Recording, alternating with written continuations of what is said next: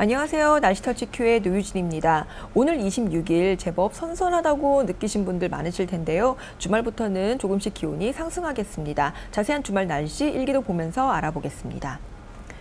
먼저 위성 영상 보시면 우리나라 동해상으로 구름이 많이 끼어 있는 거 보실 수 있을 겁니다. 이 부분에 바로 저기압이 발달했기 때문인데요. 이 저기압 후면으로 북서풍이 불어오면서 선선한 날씨를 보였던 것입니다. 일기도를 보시면 우리나라 남해상에 이렇게 고기압이 자리 잡고 있는 거 보실 수 있을 겁니다. 이 고기압은 하강기류로 구름을 없애고 맑은 날을 보이게 하는데요. 고기압은 주변의 공기를 시계 방향으로 움직이게 하기 때문에 우리나라의 온화한 남서 또 서풍이 이렇게 불어들게 됩니다. 자, 날씨는 맑고 온화한 남서풍이 불어서 햇빛은 강하고 그러면 기온은 오르겠죠.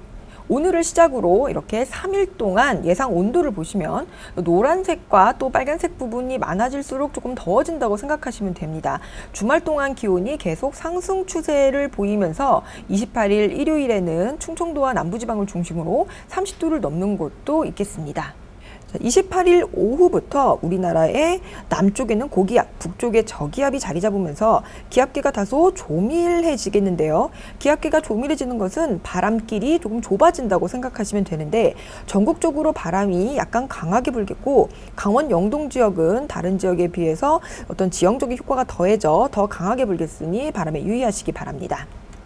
네, 주말 동안 날씨는 좋겠지만 전 해상에 좀 주의해야 할 포인트가 좀 있는데요. 서해안과 남해안에는 천문조에 따라서 조석간만의 차가 큰 때입니다. 저지대에는 침수의 위험이 있으니 주의하시기 바랍니다. 또 동해안은 너울에 대한 주의가 필요한데요. 바닷가 안전사고 유의하시고 즐거운 주말 보내시기 바랍니다. 지금까지 날씨 터치 큐였습니다. 고맙습니다.